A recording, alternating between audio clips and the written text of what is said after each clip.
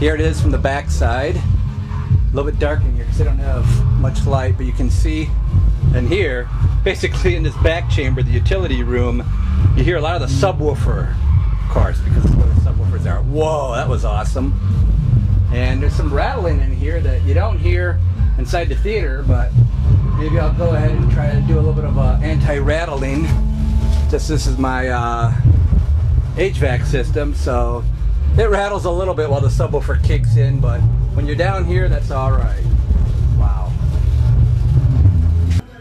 So as the lessons learned, my original idea before I learned about infinite baffle subwoofers was to have a manifold and have it port through this skinny wall that happened to be there when I built this four years ago.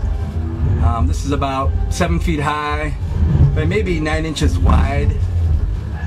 The, the square area is enough, but it's not a free-flowing air chamber. So uh, basically Thomas said don't do this. So that's when I found out I had to cut the hole in the foundation wall that you see here. So this definitely works and it's quite impressive to uh, hear and feel in your body.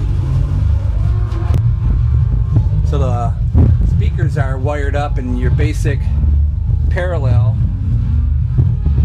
configuration. I use just your basic wire nuts to uh, attach them. Wow, I'm feeling some awesome bass as I'm talking here. And uh, later I'm going to do something a little bit more style points, but for now this works until I get the rest of the uh, home theater built. Wow. That's that Dolby Digital Clips intro. Every time that goes through, you feel a pressure wave to hit really low frequency effects on that one.